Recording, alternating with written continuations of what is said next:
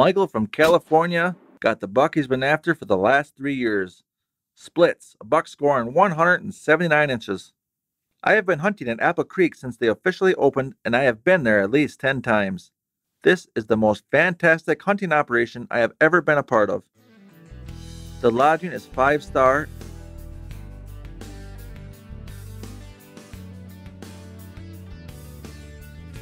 and the food is top notch prepared by their cook.